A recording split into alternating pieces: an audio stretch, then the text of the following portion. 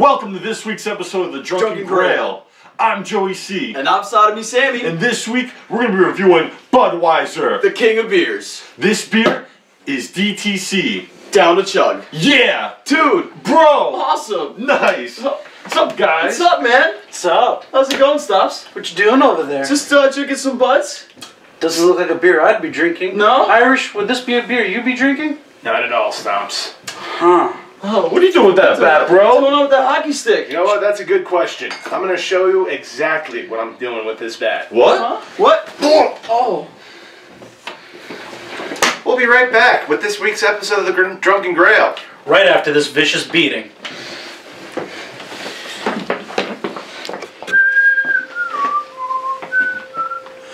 Oh, hey. Welcome to another episode of the. Dr- Welcome to another episode of the Drunken Grail. I'm Irish, as you guys already know, and today we are reviewing the Honey Bourbon Cask Wheat by Shock Top. Shock Top is owned by Anheuser-Busch, as a lot of you may not know. Uh, it has a 5.5 alcohol by volume, and I'm not too sure about the IBU rating. Uh, it says honey bourbon cask, so I can't imagine it being that bitter. But uh, it sounds like a pretty damn good, uh, good beer. So, uh, dude, bro, why don't you uh, enlighten these folks on the finer points of this beer? Thanks, bruh. Now let me explain you something. There is not a whole lot to explain about a Belgian wheat beer like Shock Top. We've had so many of these over the years, we could piss it for a month. Typical to a Blue Moon and a Hoegaarden, Shock Top is known for very citrusy notes and a frothy head. Now, this one is aged in bourbon casks and added honey for flavor. I'm guessing that's probably going to mask a lot of the citrus notes, but it's probably going to give it a nice clean edge and make it a lot easier to drink smooth.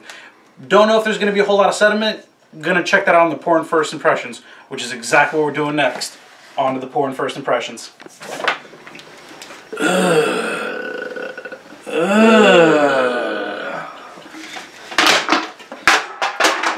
On to pouring first impressions of a better beer.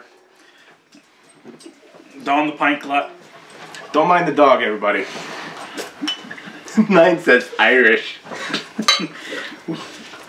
I'm loving the color.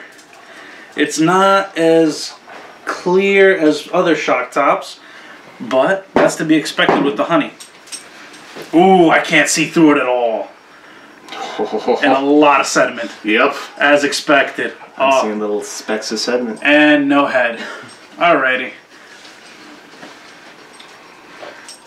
smells like honey. Mhm. Get a little bit of the bourbon. God, that's sweet. Ooh. Really sweet. That's all honey. Ooh.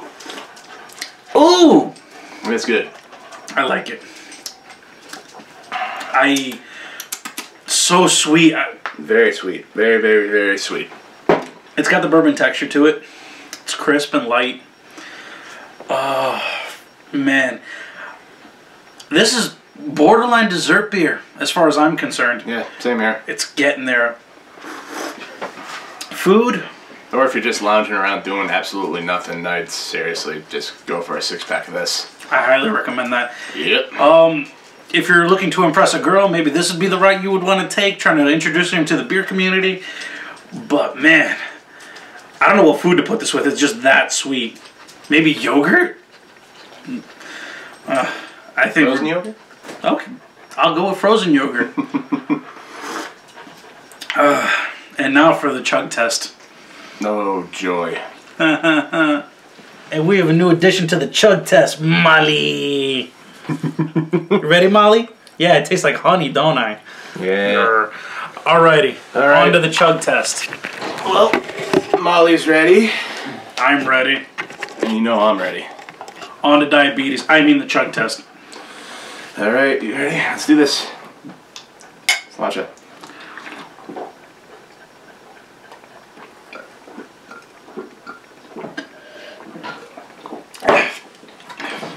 Brain freeze.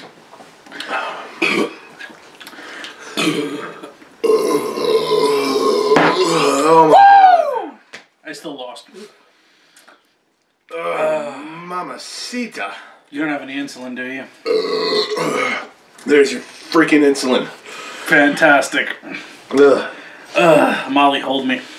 Uh, not a jugging beer. Definitely went better than most in the pre past, you know, 5.5 alcohol. Um, uh, as always, YouTubers. Ugh. That was thicker than I thought. Ah. All right. And you were saying? As always, like that button, subscribe, share us on Facebook, and as always, to good friends and good brew. Sriracha bitches. Come on, man. It was supposed to be just a joke. out. Come We on. were kidding. Fuck. Come on. There's nothing funny about bad beer. Sriracha bitches.